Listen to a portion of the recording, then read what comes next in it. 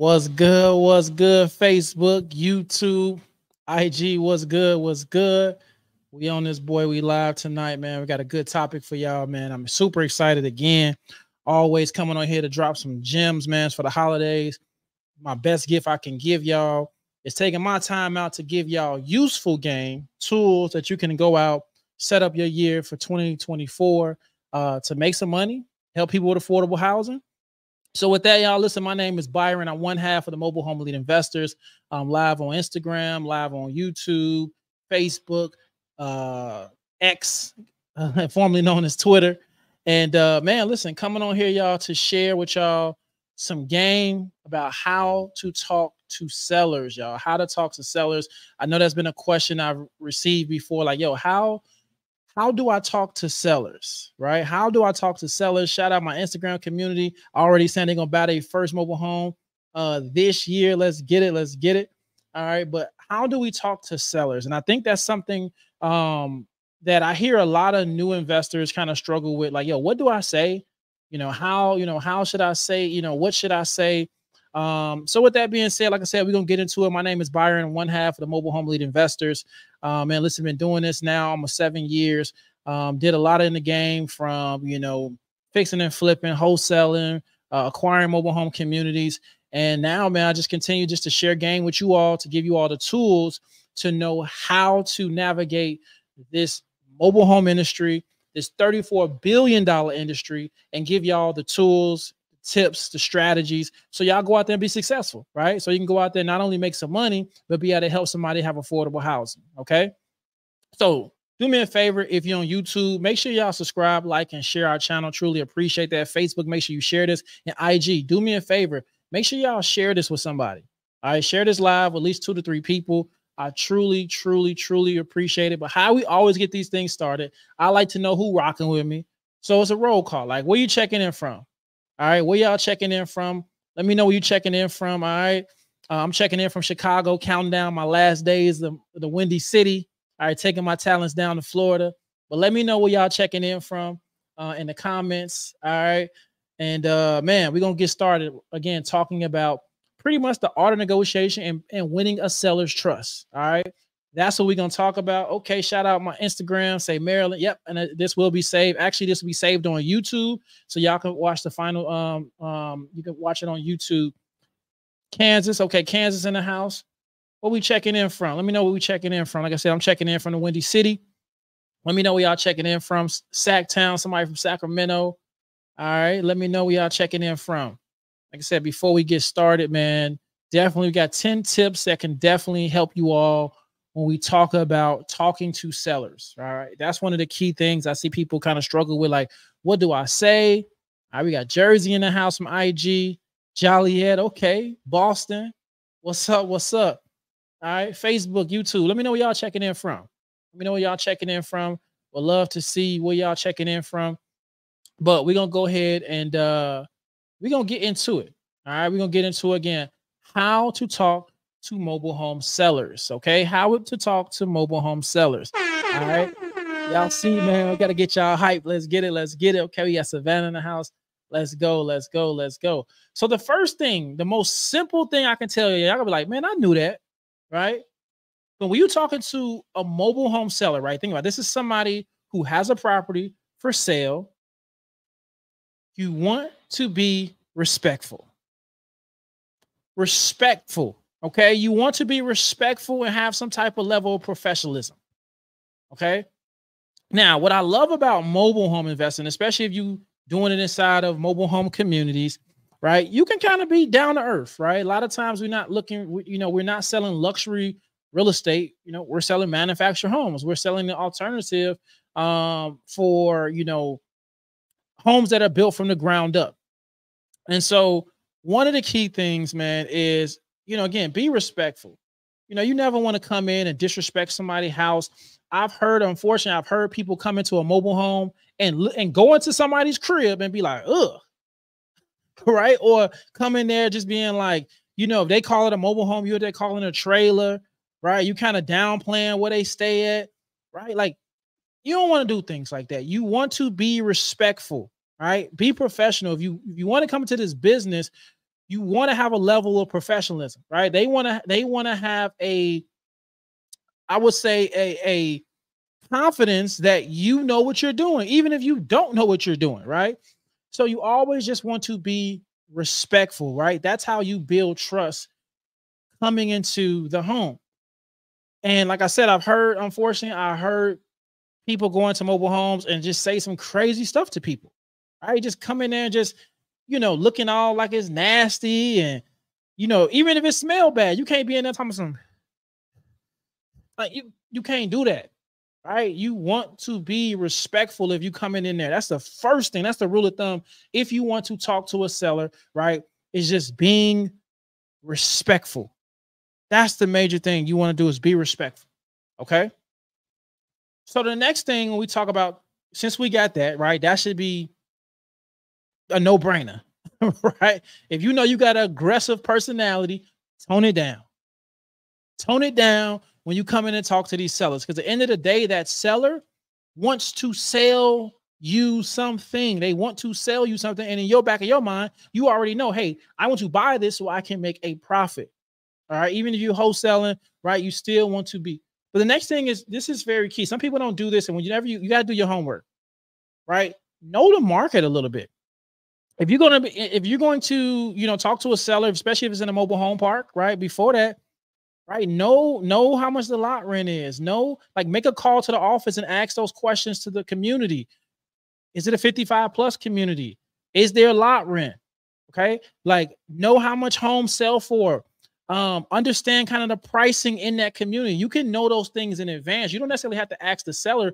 That way, if you're going to talk to a seller, we're going to get into about negotiation, but that way you know that advance, right? Because you got to think about it. If you are if you're talking to a seller and you're doing single family homes, right?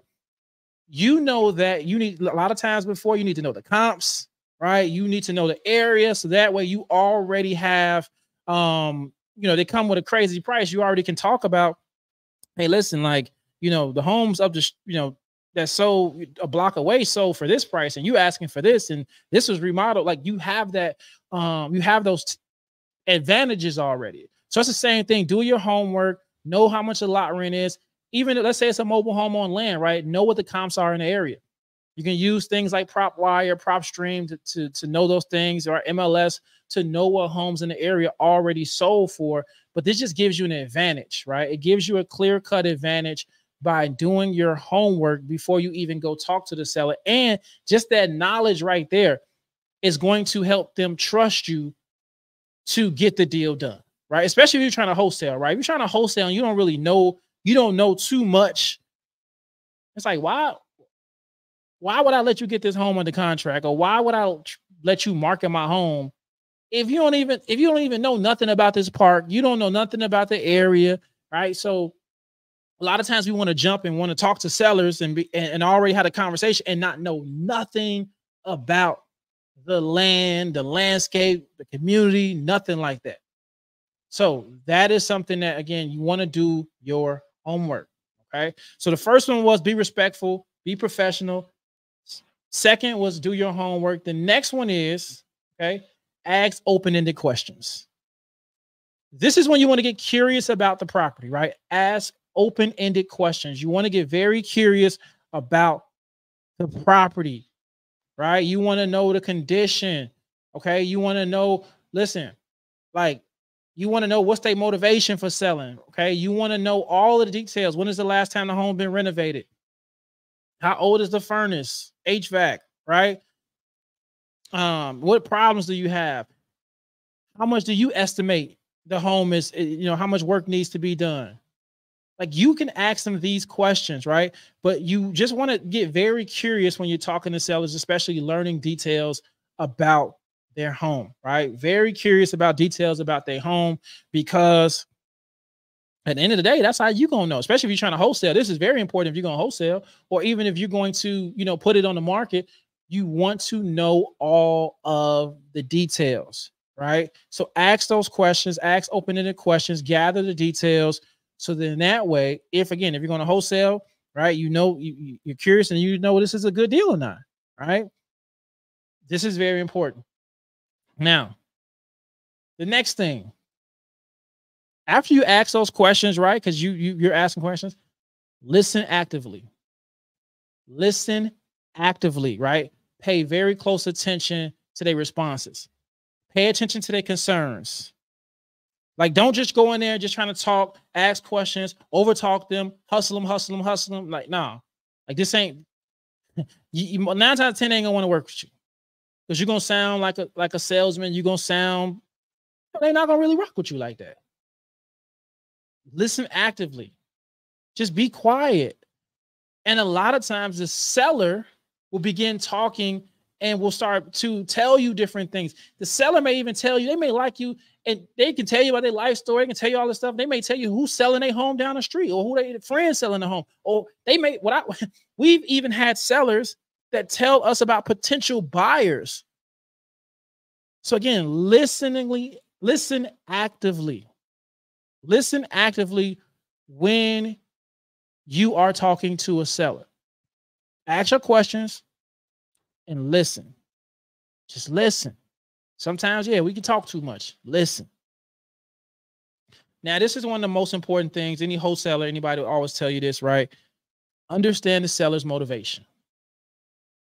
Understand the seller's motivation. Why are they selling? Why do you want to sell? Let me know why do you, like why why are you looking to sell? Help me to help you. Why do you want to sell? Right? And see, sometimes they may be moving, they can't afford it anymore, divorce. You know, they they're they're going some, you know, they they're going, you know, moving up the streets. They got a bigger mobile home, right? Uh, appreciate you asking about the baby. The baby's great. Thank you. Um, but again, like if you know their motivation for selling, this helps you to help them. It helps you to help them. Okay, because knowing that, right, it's gonna gonna meet their needs. You're going to be able to again. We talk about listening actively, and especially if you're wholesaling, right? It lets you know what they need, how soon they need, and anybody, right? When we when we feel that somebody can help us, that's when the trust opens up. You're talking a language. Now the next thing is you just got to be able to back it up, right? Got to be back it up. So now you understand the, the seller's motivation. The next thing, right? Especially again, if if you are going to buy it cash, or if you're wholesaling, but especially if you're buying a mobile home cash, right? Inspect the mobile home.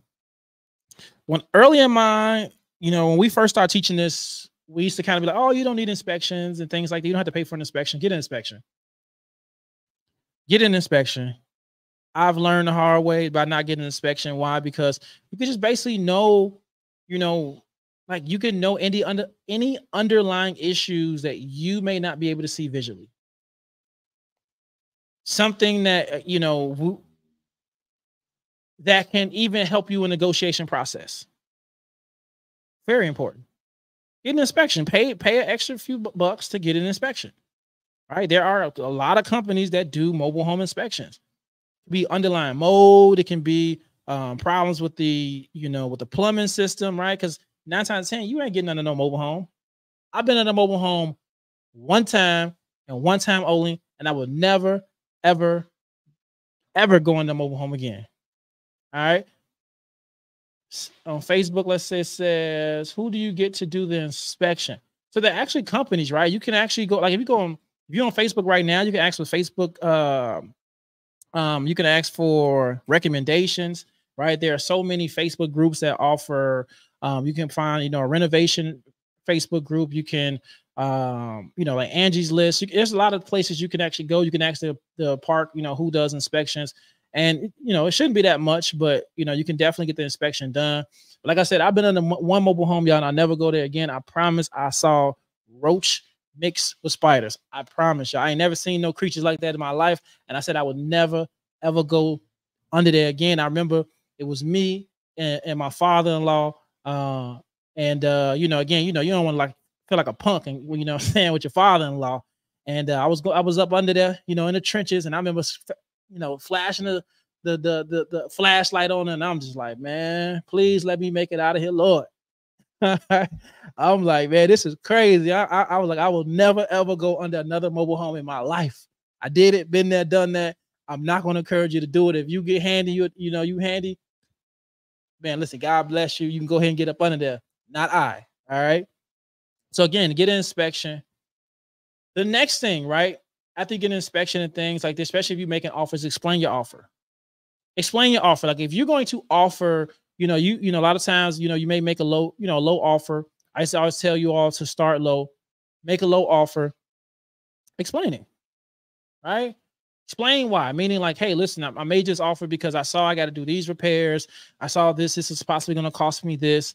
Um, you know, the the mobile homes uh, um, like yours up, you know, up the street. Uh, some of those handyman specials or some of those that needed work, you know, um, sold in this same price range, right? Like you want to just explain why, you know, or you can just say, you know, hey, this is what this is what I can offer.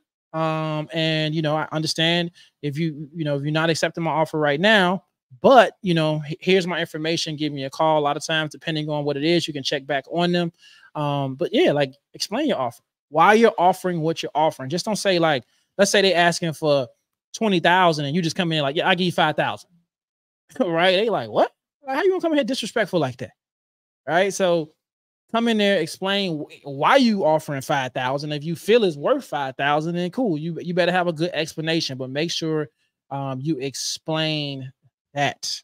All right. Next is highlight the benefits of the home, right? So when you in there, like make them feel good, right? When you're in there, just you know, listen, man, like, oh man, like, listen, my offer. Here's the biggest thing, right? Like when you're in the home, you know, you want to you want to highlight things that you know makes it sound good, but one of the things you want to do is highlight, especially if you're making your offer, um, that you can close fast, you got flexible terms, right? They love hearing that. Um, you know, talk about the advantages of your offer, especially if they haven't got an offer like that. Uh, that's very important. But just highlight the benefit of working with you and talk about the, you know, the benefit of again at home. Like highlight those things. Very, very important, man. Make them feel good. But like, not to say sound like a con man, like, you know, like, and shout out to anybody who's in the MLM but I'll say this: don't make them feel as if if they don't take your offer, they're you know they losing in life. All right. Don't make them feel like that, but just again highlight why they should work with you. All right. Which leads me to the next thing: negotiate like a pro. Right? Negotiate like a pro. Like that's the thing. Remember, we talked about at the, at the beginning, do your homework. If you do your homework, you could just negotiate. That way, you're just not out here throwing out numbers and you're just not out here just just trying to lowball them for the sake of, right? Like, here's my thing. I tell people all the time if there's room to make a profit, then don't try to go too low, right? Like, for example, like I'll give you an example, right? Like, let's say again, for example, the mobile home is on the market for $15,000, but you know that you can sell that mobile home as is for $30,000 why would you try to get that person down to half that price and be like, all right, come on, man, look, I'll give you 7,500. Now, understand, yes, you want to get a huge profit, but it's like you already about to double your money. So, so why even try to lowball, right? But then again, as far as negotiate, okay, if you're gonna negotiate, maybe take a few grand off, but don't go crazy, right? And then here's the thing: if they're giving you pushback and you know that, like, okay, this is not worth where it is, like, make sure it's a win-win solution offer a win-win solution so that way you walk away from the deal, you don't feel like you got gypped, and they walk away from the deal feeling like they they you know they got some money onto it, right? Don't get aggressive. Don't get no arguments with people over no deals. Like, man, this home ain't worth all this. You crazy? Like, no, man. Don't. we not doing all that. All right. Just be cool. Pump your brakes. All right. There's many deals out there, so you don't have to get sold on that one, especially you're in the field arguing with somebody. Like, nah, you don't want to do that. All right. So said somebody static noise, hard to hear you. Uh, most likely that is my heating system in this in this in my office. Uh, let's see if I turn my volume up, but we we gonna thug it out. All right. Make sure you watch the replay on YouTube. Probably sound a little bit better. All right. So the next thing is right negotiating, get everything in writing. Get everything in writing, y'all. Everything from the price point, everything you want to get that in writing. If y'all get once y'all agree, get that home under contract. This is the purchase agreement. This is the price. We're locked in. So that way, when it come to close, or you know what I'm saying, you not coming and they they not trying to switch it up, like, whoa, whoa, whoa, shorty. You know what I'm saying? Like, I'm this is a blank piece of paper, but like, look, this right here, this right here, this right, this what you said we was about to do. we not we not doing a switch up. This this is the agreed price that I'm going to pay because that can happen. Verbal agreements, verbal agreements can be switched on a day of closing. I've, I've definitely seen it. I've definitely had people dead of closing come, verbal agreements, right? When I'm about to sell them on something, and then they like, hey man, look, you know, I know you, I know you asking for for eight, but I, I got six. What? But at the end of the day, I was gonna still make some bread. I took offers like that, but still, if I had it in writing, they couldn't come say that. Right? They couldn't tell me that because now it's like, no, nah, this is the price you agreed to. Okay. So make sure you have everything in writing, y'all. Okay. So just wanted to go over, y'all. Man, said, what's up, Vernon? My man Vernon on Facebook said paper is king. Big facts, right? Big facts. So I went over how to talk to sellers. This was pretty brief. Right now, we had like the 22 minute mark. And we went over a few things, right? We went over again being respectful. Make sure you do your homework, right? Knowing the area, right? Knowing so that way when you're talking to a seller, you can kind of, you know, be able to, you know, just kind of just like sound more confident, right? Uh, ask open-ended questions. Ask a lot of questions about the property. Get very curious about the property. Very, very important. Uh, listen actively. Sometimes you just got to be quiet after you ask your questions. You don't necessarily have to you know, uh, just over talk them and, and just, you know, again, just really just kind of just be rude. All right. Understand the seller's motivation. Why are they selling? All right. This can help you as far as what negotiating, uh, negotiation, uh, inspect the home. Very, very important. Make sure you get an inspection of the home. Very, very, very important. Cost a few dollars, but you definitely, if you're gonna buy it, buy it cash, you want to know everything is going with it, going going wrong with it, and it can help you with negotiation. Um, explain your offer. All right, definitely explain your offer, right? Just don't throw them no crazy offers, and then highlight the benefits of your offer, right? Let them know, hey, I can either close fast, you flexible, right? I'm paying cash, like you know, explain the benefits. Uh, negotiate like a pro, all right, and get everything in right. So y'all listen, those are some tips on how to talk to mobile home sellers. Y'all, real quick, any questions? that you may have. And while you have your questions, what I wanted to invite you all to again, like I said, I've been doing these classes. I think this is the third class, uh, you know, third session I'm on here um, in a row. Um, and just highlight Instagram. If you comment sale, right, you all uh, can access $400 off our Mobile Home Elite Institute, which is our online program with over seven courses, um, only for $97. So if you comment sale, you get that. Uh, Facebook, YouTube. Again, if you want to learn more, you want to go get the game, uh, go to Mobile Home Elite Institute or the link is in the uh, description. You'll see the link in description. But uh, go to Mobile Home Elite Institute, choose the Mobile Home Elite Institute, and and use promo code We Got You in all caps. Okay. So, like I said, I wanted to throw that out there, y'all. But if you have any questions, let me know, man. Before we uh before we jump off here, I think somebody it says sale. So that right there, like I said, you want to look uh Facebook the link is in the description. Facebook, the link is in the description. You can click, you can get directly there, uh, directly to the sale price. Um, I got you. The only of your comment sale on um, Instagram is only set up there. You're going to get it directly to your DM. I got y'all. So any questions, like I said, um, before I jump off here, man, um, again, truly, truly appreciate y'all, man. Always, always rocking with me. I always want to get some game. Like I said, we talked about how to, to talk to sellers. Uh, yesterday's class, man, we went over uh, finance and make sure y'all catch the replay on YouTube. Uh, and then the day before, I forgot, man, I did some of these classes. I forgot what we was talking about. But y'all already know, man. I'm almost gonna come on here and give y'all some game, man. So any questions before I jump off here, man? Like I said, I'm always gonna ask y'all questions, man. Uh, definitely shout out to y'all and y'all family for the holidays. I know some of y'all probably traveling right now. Safe travels to all you all. Um, I hope y'all having a one-on-one coaching available. Yes, unique. Yes, there is. Um, so unique. Do me a favor, shoot me a DM um, and just say one-on-one coaching. So right now, I do have 24 slots available that I'm taking uh, for the first quarter of the year for one-on-one coaching. Uh, you may have to join the wait list, but I got 24 slots available. I just actually released it um, early last week. So I haven't been. So again, if you're interested, if you want to do one-on-one coaching with myself, um, you can act, or actually you can go on Institute.com and then you can apply there um, to see if you'll be a good fit if it's something um, to to do one-on-one coaching with myself. So, um, but yeah, I definitely got you covered on that. So uh, either go to link in my bio or just DM me and I'll shoot you that directly. Uh, unique pour. So if no questions, man, like I said, listen, I just want to wish y'all um, an amazing week. Listen, if you're in Chicago tomorrow, I'll be doing a live podcast um, at Royalty in Lansing, uh, Illinois. So it's south suburbs.